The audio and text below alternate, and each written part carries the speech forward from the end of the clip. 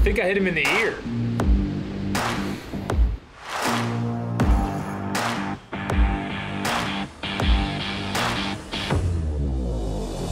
Hey everybody, welcome back to Half Ass. As always, I'm joined by Andrew, and today we have a fun one. Um, this has been on the whiteboard of topics for at least two months, if not a little bit longer, Quite a while. and it's just ironic timing. It's very ironic timing because we're going to be talking about 300 Blackout, why it's so awesome, and Sentry Elimination. Yeah, the original title that we wrote on our whiteboard was uh, Assassin Rifle. Just just for fun and clickiness, right? right. But it felt a little weird to make a video all about assassination, Especially after this last weekend. especially after last weekend. So before we dive deeply into that, cautiously, we have our giveaway going on. Boys and girls, we are really close to hitting our 2,500 sub goal. When we hit 2,500 subs, we're going to pick one lucky subscriber, take home 500 rounds of Winchester brass case 9mm, shipped directly to you. So, like, follow, comment, subscribe. Subscribe is the most important, but we also like getting engaged in some of the conversations with you guys. So, please, if you have questions, comments, bitches, gripes, complaints, put them in the comments and we'll answer them. So we'll get that out of the way real quick. I've been talking about this for a few videos now, how I'm super excited for our next giveaway. This one is going to be awesome. It is currently in this box right here. Any guesses to what this is, put them in the comments below. Um, but when we hit the 2,500 subs, we will unveil what this guy is. It is a pistol, so we are doing some fun stuff with some fun giveaways, but this is a very rare and very expensive pistol that we will be shipping to somebody who is allowed to own it um, when we hit our next sub goal. But get us to 2,500, then this is up next. All right, kick us off on 300 blackout. Let's start with let's start with what 300 blackout is real quick for the boys and girls at home that may not know what that is other than seeing Okay, it in a yeah, yeah, yeah. game. So, S- short, short. short summary of what 300 Blackout is. Um, for the longest time in war fighting, we had the M16 and the M4. And then on the exact opposite side of the spectrum, we had the MP5. Everybody loved how short and compact and suppressible and how low signature the MP5 was. But the MP5 lacked the power of an actual rifle because it was a pistol round. So the challenge became to find a middle ground where we could get a very small, very low signature, very compact rifle that was still powerful enough to have to be able to be classified as rifle style power. And that's where we ended up coming up with the 300 blackout. So 300 blackout ARs, which we saw an explosion of a few years ago. Everybody wanted one. They're typically somewhere between six to nine inches in barrel length, very similar to what you would see in an MP5. They typically shoot a wide variety of types of ammo, just like you would see in those pistol calibers. And they are very low signature, very easy to suppress, very quiet, very little flash, and a lot of fun. Very great for backpack guns or for bag deployment or any kind of like bug out bag or anything like that. So what 300 blackout essentially is is a 30 caliber bullet stuffed into a 5.56 case. Yep. It is so fat that it almost looks like a straight wall bullet. kind of sort of yeah essentially they uh, they had to make the bullet bigger because as they tried to shorten the barrels with 556s they had to spin the bullet so fast to get it to stabilize that it disintegrated and they figured out that if you make the bullet bigger the bullets can spin faster and not fall apart mm-hmm. so they ended up just taking a 556 casing and slapping a 308 round in it Yeah, we're not going to get too far into the nitty gritty into the into the science behind 300 blackout, into the design of the 300 blackout. It exists. It's commercially available. It's awesome. Military law enforcement departments around the country and around the world use the cartridge Oh, yeah. because 30 caliber bullet that suppresses awesome with subs that runs like a sewing machine in short barrels and reduces your signature. We don't need to get into the depths of the internet and having all these goddamn trolls correct us on. Right. Well, actually, well actually yeah, no, it's just an awesome badass cartridge. And what is the use case? For Right. it? And that's the theme of so many of our videos is use case. I think originally with all of 300 Blackout's popularity, what happened was is people flocked to the gun stores because they wanted a tiny AR They wanted to take advantage of the pistol brace stuff, and they wanted to make their AR pistol with their 300 blackout because they just wanted something small. But you know that's not really a valid use case. No. And now one of the kind of shifts in trend that we're seeing is so many more people buying things like bolt action 300 blackouts or even break action 300 blackouts, which are starting to become super popular. Well, and let's real quick talk about why with 300 blackout, right? So you have a cartridge coming out hitting the baffles, which has, depending on your can, a volume, whether it's a lot of volume, a little volume, how it reduces your signature, so on. We'll get into that a little bit down the road. But when you can close the breech on Yeah. a bolt action, even in a 223 or a 556, anything, when you can close that breech, you eliminate a lot of sound that you would have, and you're pushing it all into the can. yep. You don't have a lot of that sound escaping out through the action when it cycles. And the action itself is mechanically quieter. Yes. So a lot of people started realizing after that kind of fad phase of 300 blackout wore off that what this really great use case is for this round is we don't want to call it the assassin oh rifle, Oh my god, yeah. but it's we will call it sentry elimination. yeah, so for those out there questioning what's the what's the distance that you can shoot a 300 blackout? Well, first and foremost, you've got two main categories. You have supersonic rounds, somewhere in the realm of 120 grain bullet Yep. ish, plus or minus 10 to 15. Sure. And then a subsonic bullet over 200. Like the super, the subs that I shoot are 220s. The I've, I've shot some 190s before, but yeah, they're generally big bullets. Yeah. So big heavy bullet that goes real slow and real quiet. Subs, you could effectively shoot a couple hundred yards. Mhm. Uh, supers, I've taken shots, and I'll put it if I can find the video. I'll clip it in here with my pork sword, which is one of the weapons that we were using to sh- demonstrate 300 black on the range. Uh, I've taken 500 yard shots and hit C zone IPSC targets rel- reliably four out of five times uh, at Briar with Mark from uh, Delta 34, also on YouTube. And and a lot of people might hear us say something like this, like maybe a couple hundred yards to 500 yards. A lot of people might hear that and think, well, that's that's stupid. My M16, I can hit a guy at 800 yards. Yes, that's true. But your M16 is very loud and it's very big. Yeah. That little bolt action up there can fit in a in a child's backpack. Yeah, a little Jansport backpack. Yeah, a little JanSport backpack would fit that gun with a six inch barrel. Should I get that off the wall and put it on the table? Uh, maybe. Let's get off. Yeah, it would fit on the table nice.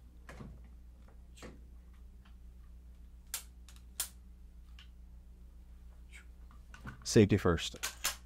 There you go.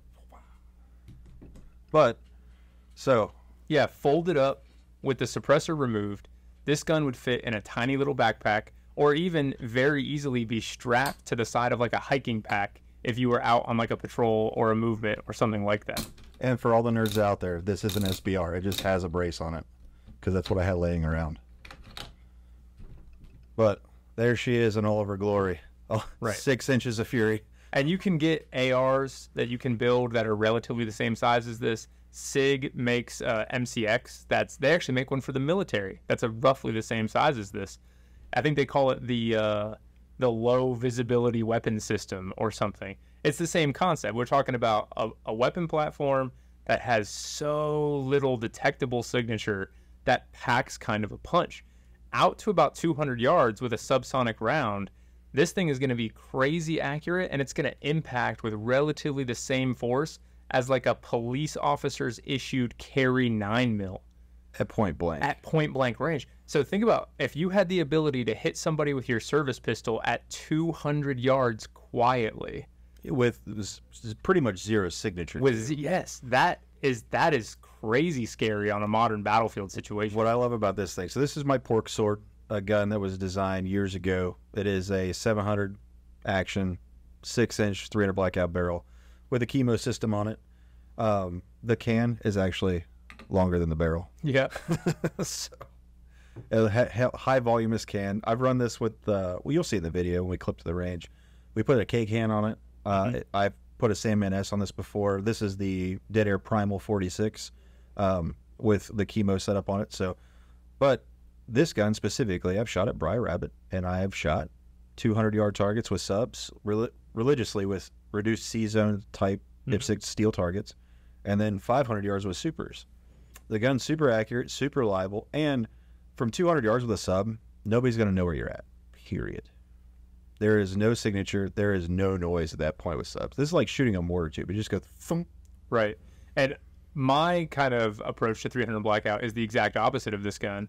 I carry around a little folding AR in a backpack because my whole Throwback to the backpack video. Th- yeah, throwback to the backpack video. If you guys haven't seen that, definitely go check it out. My whole concept of where I really like 300 Blackout is for low signature CQB. I want to be able to go in, clear a building in an urban environment, or do something in an urban setting, and people, because an urban area is going to have a lot more people density, they're not going to really understand what's going on. They're going to hear thump, thump, thump. They're not going to hear that loud crack, crack, like there's the gunshots right there. They're not going to know really quite what's going Well, on. if we learned anything from this weekend, you've got about 28 minutes before anybody could detect you anyway. So, Yeah. yeah, we're not going to dive into that one. There's everybody on the internet's already doing their two cents on those videos, but Jesus, Jesus Christ. My favorite was the uh, the Lion King meme, like the Secret Service agent, like we protect everything the light touches. What about that slightly sloped roof over there? We don't go there. Yeah. All right, so we shot some of the stuff from the range. The fun part about this is th- this gun is ridiculously expensive. I built this thing years ago for a purpose. I went high end with everything. Um, this is not your everyday, every man's. This was literally stupid purchase of mine. This is the, I call this the dumbest gun that I own. But to get into shooting 300 blackout bolt guns that suppress really well and everything else, there's tons of options. Oh, right? yeah. So my favorite, and we'll see it in the video too. Now the one in the video has been upgraded since then, but the Ruger American. The yeah, the Ruger American Ranch rifle is by far the most popular one we sell here in the store. I own one. Quite a few of our employees own one. They are I don't because uh, right because of this. They're beautifully made. Ruger does a great job with them. They're threaded from the factory. They're extremely affordable, and they have tons of aftermarket support. There's Timney triggers, Trigger Tech mm-hmm. triggers, great chassis system. yeah, the Magpul chassis that uses the standard Stanag mags. Yep. they're great. I mean, Yeah, they they super take- affordable. They take AR-15 magazines mm-hmm. for a bolt action rifle. They're and they already come with a rail, so you can put a scope right on it, right out of the box. They're a great gun. If you're the kind of person who's looking for getting rid of that groundhog in the backyard, maybe going on the odd hog hunt or dealing with a varmint situation, and you don't want to piss off all the neighbors, or you just want to be able to really enjoy some quiet time with your rifle, but let's go ahead and move into the range. Yep. So we're gonna go out to the range. We're gonna show you guys shooting these, some variety of rounds, some variety of suppressors, and kind of give you a gauge of uh, what we were doing out there with them and how quickly we were able to get nice, quiet shots. Yep. So, We'll catch you in a few. so we're out at the range talking about 300 blackout today. Now, 300 blackout saw an explosion in popularity a few years ago, mainly because everybody kept trying to go shorter and shorter and shorter with the AR-15. And for that use case, it is perfect. It's a great platform to go to a six to a nine inch AR and really enjoy it. You've seen us shooting our PDWs here on the channel before. We have a lot of fun with them, and they're great for suppression. But one of the things that people don't often talk about enough with 300 Blackout is how amazing it performs in the bolt action, bolt action category. Woo. So right here we have a gun called the Pork Sword. This is a, a sweet little uh, firearm made by Black Collar. There's a couple other companies that make them too.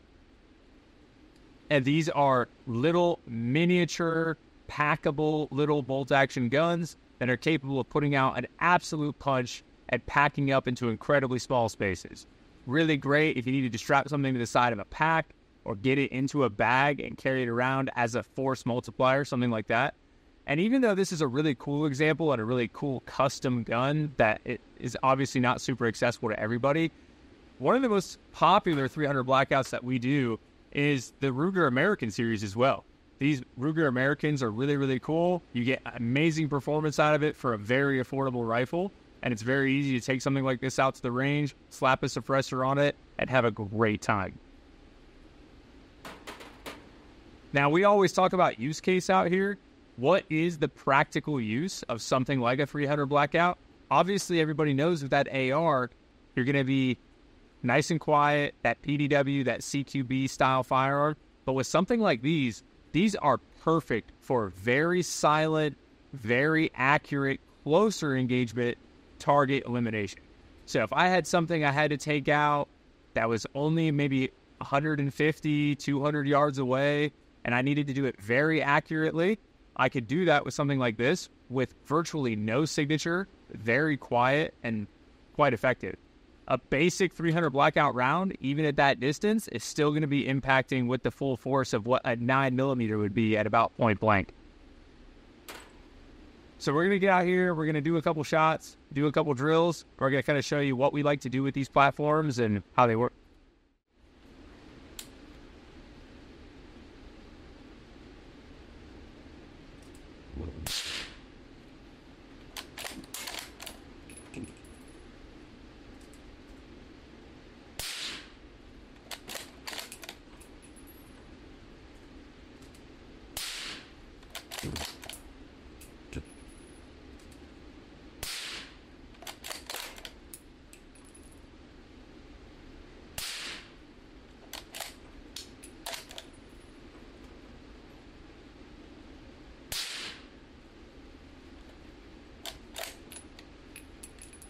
Now we're at relatively close range here, and we're in an indoor range, but you can already tell that this gun is crazy quiet.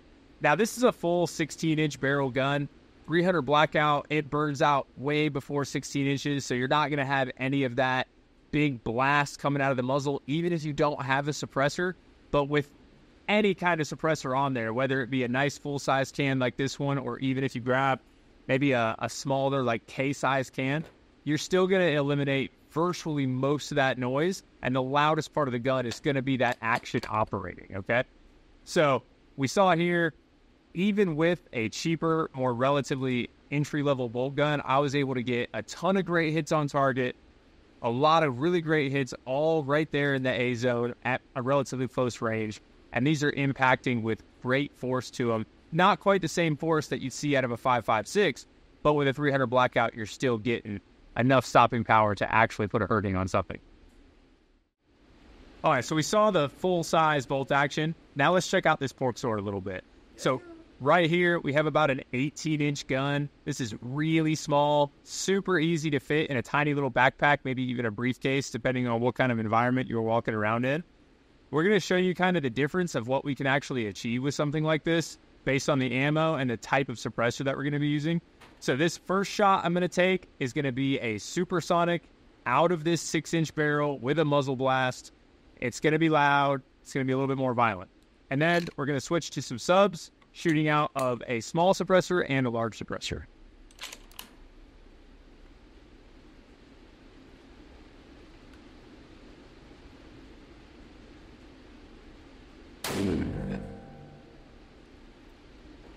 So much, much louder than the 16 inch that we were shooting just a moment ago.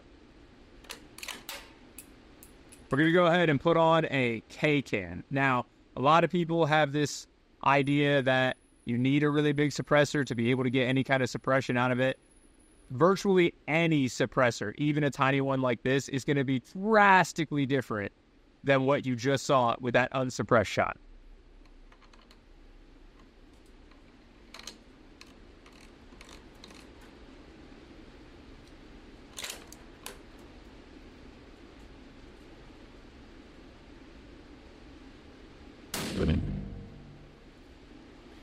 So a lot quieter on that shot.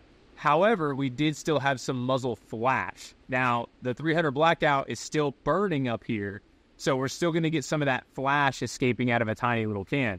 But I suspect when we move to the big suppressor, not only are we going to get quieter because we have more volume, but we're also going to catch most of that flash of this guy, so our signature reduction is going to be even less.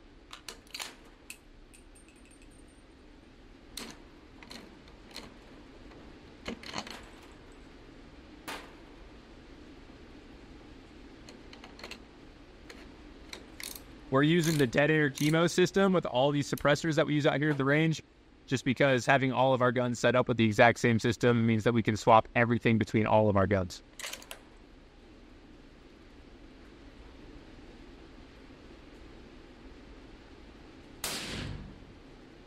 And that was a night and day difference. There was no visible flash that came out of the end of the gun. The recoil was so much more reduced. The noise was so much more reduced. And that was the exact same type of round that we fired previously. Let's give that one one more.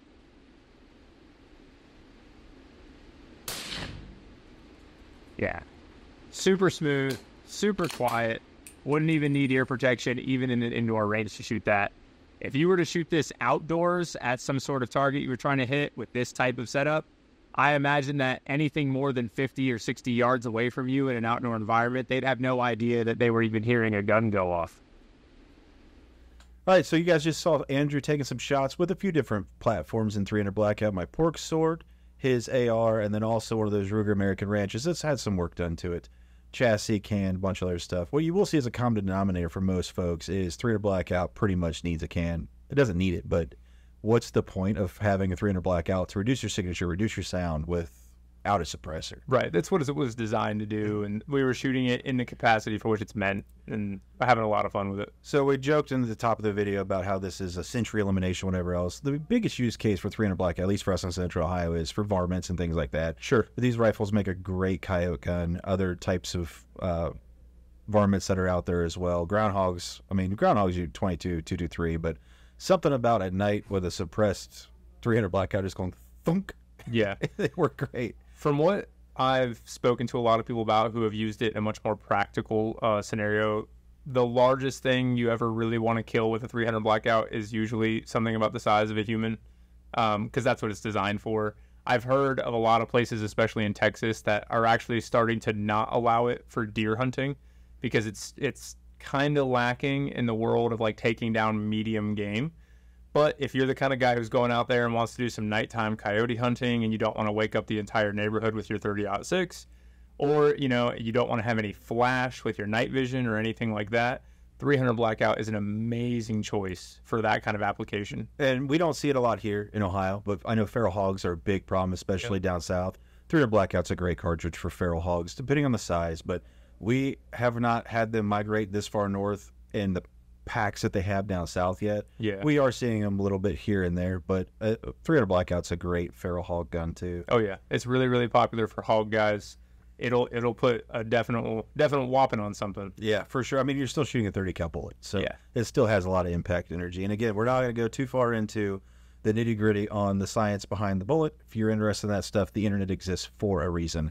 Uh, the cartridge is awesome. It hits hard. It suppresses well, reduces your signature. Just all around, really nice. And like you talked about in the video a little bit on the range, you do have a little bit more recoil because you are pushing a yeah. fat bullet out of a short barrel. That's a, that's something that uh, almost everybody I've ever worked with who's built a 300 blackout has been really surprised about when they finished out their gun and went out and started shooting.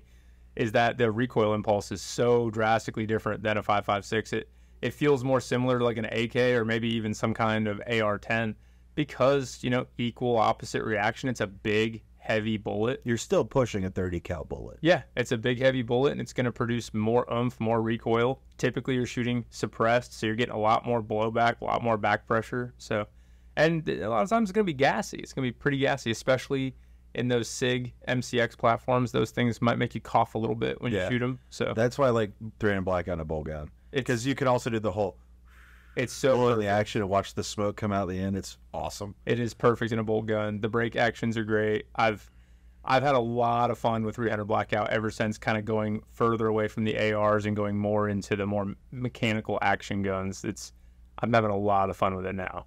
All right, boys and girls, thanks for taking the time to listen to us ramble on. Again, we have our giveaway going on. Like, comment, subscribe, and uh, we'll give away 500 rounds of brass case 9mm when we get there. We are really, really, really close, uh, which I am super excited for because we want to keep doing this. We want to keep doing good content. We want to keep, you know, growing the channel organically. I mean, we're not paying anybody to get sub- subscribers and supporters. We just want to put out good content, and we know you're gonna call us on it if it's shit content. So, but we appreciate you guys taking the time to listen, and we'll catch you next week.